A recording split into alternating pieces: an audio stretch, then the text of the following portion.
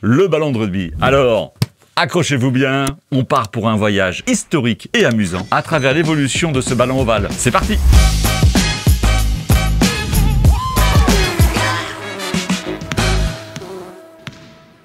Nous sommes en 1823, dans une petite ville située dans le centre de l'Angleterre. Welcome to Rugby Dans cette ville située à une centaine de kilomètres au nord de Londres et qui va donner son nom à un nouveau sport, qui consiste à avancer en se faisant des passes en arrière. Il n'y a que les Anglais pour trouver une idée aussi étrange. En 1823, un jeune homme nommé William Webb Ellis a transgressé les règles du football en prenant le ballon à la main et s'est mis à courir droit devant lui. L'assistante était médusée. Oh my god, mais que fait-il?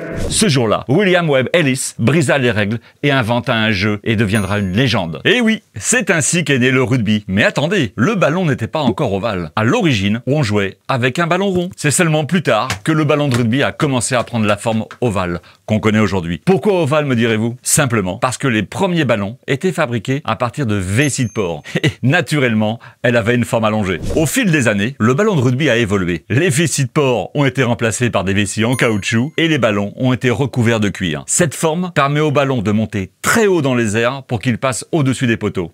Et s'est transformé. En 1823, une grande marque emblématique donne naissance au fameux ballon. Il s'agit de la marque Gilbert, fondée par William Gilbert, qui était fabricant de chaussures pour l'école de la ville de Ruby. Aujourd'hui, nous avons trois acteurs principaux de ballons. Gilbert, bien entendu, qui est le fournisseur officiel de nombreux tournois internationaux. Adidas est également un acteur majeur sur la scène du rugby. Et n'oublions pas Canterbury, la marque mythique. La fabrication des ballons a également beaucoup changé. Les ballons modernes sont constitués de quatre panneaux cousus ensemble. Ils sont souvent fabriqués en matériaux synthétiques pour une meilleure durabilité et une meilleure adhérence, surtout par temps humide. En 1892, le Rugby Football Union a normalisé la taille et la forme des ballons.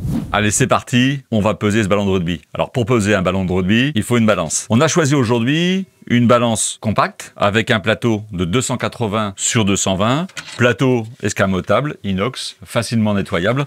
Alors c'est un produit qu'on vend beaucoup en métier de bouche, tout ce qui est boulangerie-pâtisserie. On a pour ce produit un niveau à bulle qui permet de régler la balance, la stabilité, et quatre pieds réglables donc pour un meilleur réglage. Alors cette balance, elle est à la fois autonome avec une batterie de 45 heures ou on peut la mettre aussi sur le secteur. Balance basique entre guillemets parce qu'elle est quand même de 3 kg de capacité, 0,2 g de précision, donc pas aussi basique que ça, mais plus basique dans le fonctionnement. Trois touches, marche arrêt, tar et zéro. Donc cette balance avec un afficheur LED se voit très bien, surtout s'il n'y a pas trop de lumière. En tout cas, une balance qu'on vend en milieu industriel, en boulangerie-pâtisserie, et aujourd'hui, elle va servir à peser notre ballon de rugby. Alors, il pèse combien ce ballon de rugby Maintenant que vous avez découvert la balance? Alors, le ballon de rugby, hop, Gilbert, pèse exactement 438,2 grammes. Eh bien écoutez, il est parfaitement dans les normes internationales.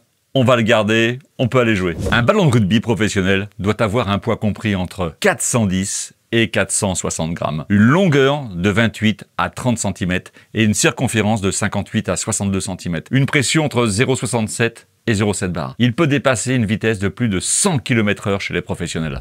Maintenant, vous connaissez l'histoire et l'évolution du ballon de rugby. De la vessie de porc au ballon synthétique ultra moderne, ce ballon a parcouru un long chemin. Alors, la prochaine fois que vous verrez un essai marqué, pensez à tout ce passé incroyable. Et la prochaine fois, on pèse quoi alors? Eh ben, la prochaine fois, on pèse un ballon de handball.